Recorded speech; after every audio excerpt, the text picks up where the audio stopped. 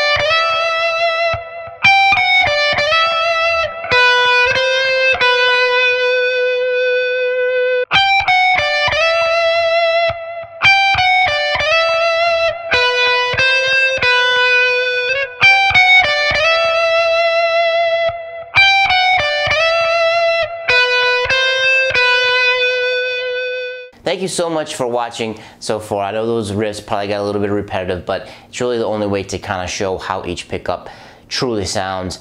Both of these pickups are active and they're both trying to achieve a PAF type of sound, but they do it in really different ways. The EMG 77s are appropriately named because they are trying to achieve a sound of the PAFs from the 70s. So the EMGs themselves tend to be a little bit more dirty, I guess you could say. They're uh, a little bit more grungy, which pickups from the 70s kind of have that flavor to it, and I find the EMGs did a very good job of capturing that type of flavor. The Fishmans, on the other hand, go for more of a hi-fi crisp type of PAF sound. I find that the bridge pickup can be pretty bright, so I had to dial down the brightness on a few of uh, my gain patches, which really wasn't that big of a deal. It's kind of also a good thing that they're bright because that means you don't have to push your treble or your presence super hard to get a really good sound. So guys, I'm gonna leave the decision to you. Which set do you like